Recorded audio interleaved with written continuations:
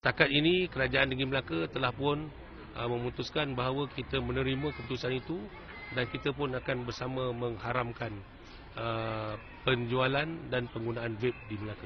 Datuk Seri Idris yang sebelum itu meninjau hari pertama persekolahan di Sekolah Kebangsaan Sungai Udang berkata kerajaan negeri akan memastikan semua pengusaha vape mempunyai peluang perniagaan lain selepas pengharaman itu dikuatkuasakan.